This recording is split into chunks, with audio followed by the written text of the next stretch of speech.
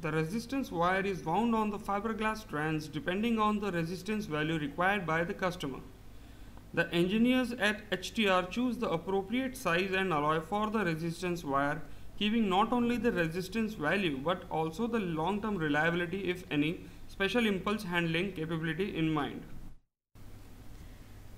Depending on the product requirement of the customers, the fiberglass core is cut to appropriate size. In case where the customer requires a product with PCB mounting, HTR offers the HFP series where two lugs are crimped onto the fiberglass core. In the case where customers require axial solutions, HTR offers HFA series where two lead cap assemblies are crimped onto the fiberglass core.